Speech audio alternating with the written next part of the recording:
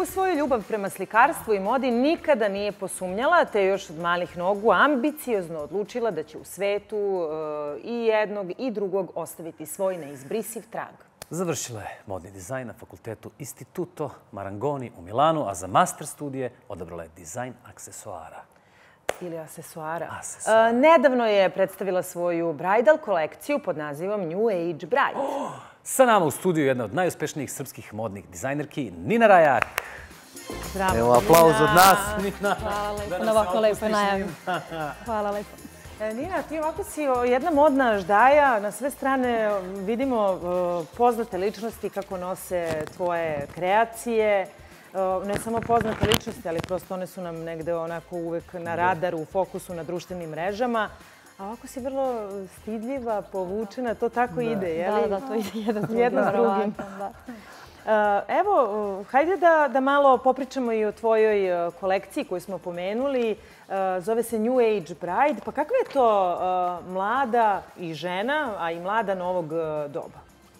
Pa u suštini, generalno, cijela kolekcija, da, nova kolekcija koju smo izbacili je vezana za da kažem, našu dugodu, naš dugogodišnji rad e, svih kolekcija, gde smo, da kažem, sve naše prepoznatljive forme pretočili u jednu, da kažem, snažnu, minimalističku, modernu mladu, gde koristimo, da kažem, ne samo i svedene materijale, već i negde, da kažem, te neke, da kažem, mode- modernije varijante čipke, gde sve ta dva spajamo u jedno, gde se eto dobije, da kažem, ta neka mo- moderna mlada koja može da bude nosiva i za, da kažem, neke druge prilike. Evo, ja ne znam mnogo o modi, ali mogu da primetim da si uspela da izbegneš te ove dve stvari koje su uglavnom vrlo aktualne, to su aktualni trendovi i ta neka tradicija na kojoj se mnogi ovaj, nekako kače. Čime si se ti vodila kad si ovakvu kolekciju pravila? Pa to, to što sam rekla, ovaj, baš e, sa samim tim da negde sam pokušavala u ovoj kolekciji da spojim sve te forme koje smo dugo godina, da kažem, u svim kolekcijama imali i negde sam ih pretočila sada, da kažem, u jednu kolekciju New Age Bride i u drugu kolekciju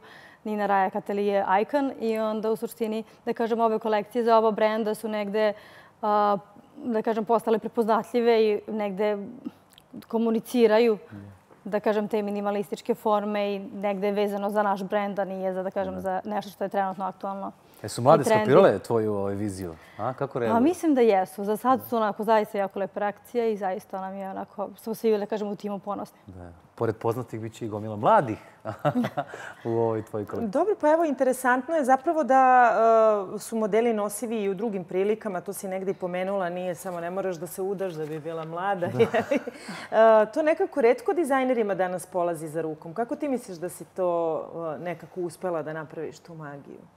Pa mislim da sam negde onako počela sa, prvenstveno od sebe. Negde ja sam dosta jednostavna i negde sam se vodila sa tim, eto, kako bi ja to volela da izgleda. Pa onda ovaj, šta bih ja nosila, tako da, eto, mislim, mislim da je tu negde se izrodilo to da je dosta onako, da kažem, svedeno i jednostavno.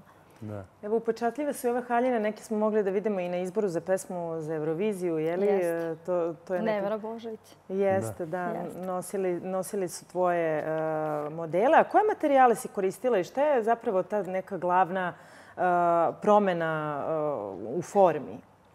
Pa, da kažem, promjena u formi je dosta, sve je dosta, onako da kažem, minimalističko i avangardno. A što se tiče materijala, imamo dosta, da kažem, korištenja te, da kažem, neke nove, moderne čipke gde ima dosta ručnog rada, o, svile, mat satena i tako. Da. Evo, sad treba sve te svile, mat saten, to sve treba sad spojiti i ti imaš tu kreativu, kreativu da to i napraviš, onda to treba i predstaviti. Koje ti sad neke kanale ili ovaj, biraš? Su to neke poznate ličnosti? Da li je to Pa, pesma trenutno- za Euroviziju ili Pa koja ideja za trenutno kampanju? da ovaj, sve to komuniciramo putem našeg sajta ovaj, i putem Instagrama, tako da to je to. Da.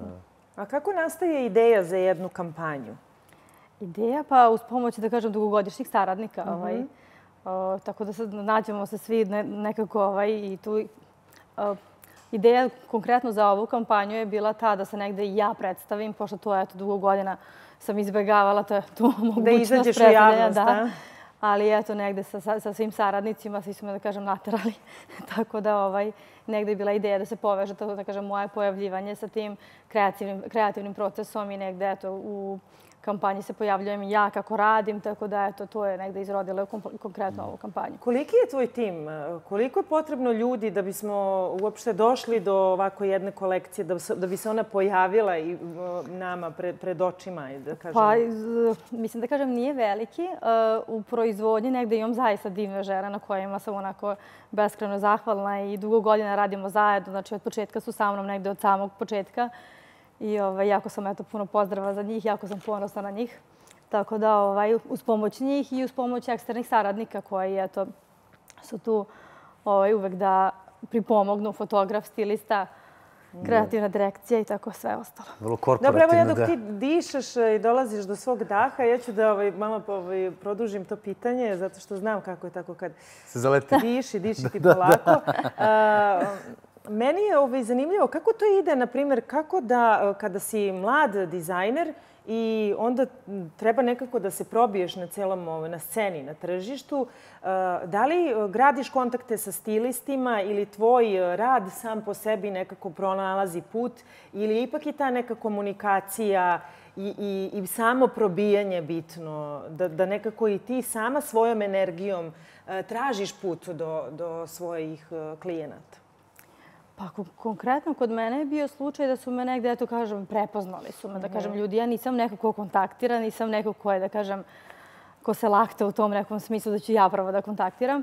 Imala sam eto tu sreću da, ne znam, pre deset godina sam upoznala određene ljude sa kojima sam počela saradnju i mhm. negde, da kažem, tu sam primećena, da kažem, u, u tom nekom, da kažem, užem krugu i, uh, i ušla sam, da kažem, u taj neki svet gde sam počela i saradnju sa poznatim ličnostima i da kažem, stilistima, tako da to je bio neki moj put. A što se mene tiče, ja sam dosta povučena, tako da ovaj, dobro se i namazda. Nekada dobro, da, da, da. I sreće, i faktor sreće je tu, jeli? E, a kaži mi sad, stvarno me zanima, evo, kad ti stilisti, sve što je u pozadini, evo, kad se završi taj finalni proizvod, kog, kog je, recimo, ono, kako zamišljaš, koji, kog je karaktera žena koje se ti obraćaš i koja je to generacija ovaj, žena?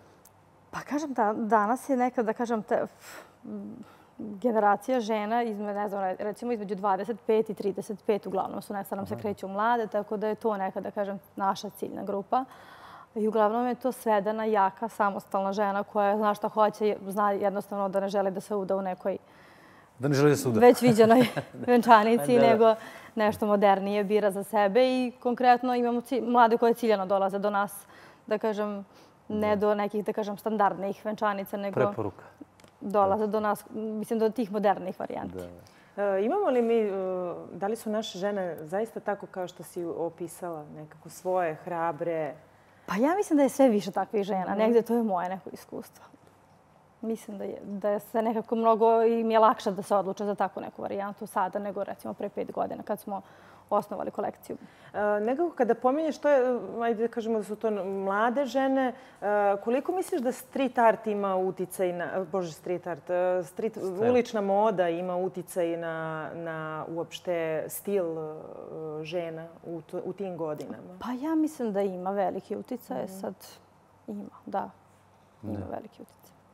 Ok. Uh, A kako evo, tebi izgledaju modne ulici Beograda? Evo sad ona pominje stil style. Pa ne samo, da. ne samo u Beogradu, ajde da kažemo i u Subotici. Ali ima razlike između toga kako se u tvom gradu, u Subotici, žene oblače u odnosu na ima, ono... Ima, ima velike razlike. Evo, ćeš da, da nam to malo kažeš? Pa negde su žene u Beogradu, ja mislim, mnogo slobodnije da eksperimentišu nego što su ovaj, uh -huh. u Subotici. Tako da je tu negde mnogo lakše, da kažem, što se tiče nas, dizajnera, za rad. Uh -huh. Tako da, ovaj... A ja sam baš mislila kao vi imate tu malo utice i mađarske i kao... Ja mislila da smo mi svi uniformisani ovde, i, i, i žene i muškarci. Pa da, ja sam mislim da generalno Srbija dosta onako, da kažem, uniformisana i, i mislim nismo da kažem kao što možeš da vidiš u nekom recimo Parizu ili Milanu. Da. Da li to može se promeniti? Kako, to, kako se to menja? Kako pa ne znam, evo ja se trudim da pravim komade koji će da, da promene, tako da, da, nadam se da ćemo eto uspjeti. Da promo, napraviš i da promoviš. Evo, znamo da se ti nekako ne rukovodiš uh, trendovima, ali uh, šta bi negde ono preporučila ženama različitih uh, generacija za ovo proleće? Eto, da Ili muškarcima, što ne i muškarcima. Da, Ne mora da bude neki ono kao must have komad, kao što se obično kaže, ali eto, da, nam, da doprinese nekako tom našem odevanju, a i možda tome da malo drugačije izgledamo.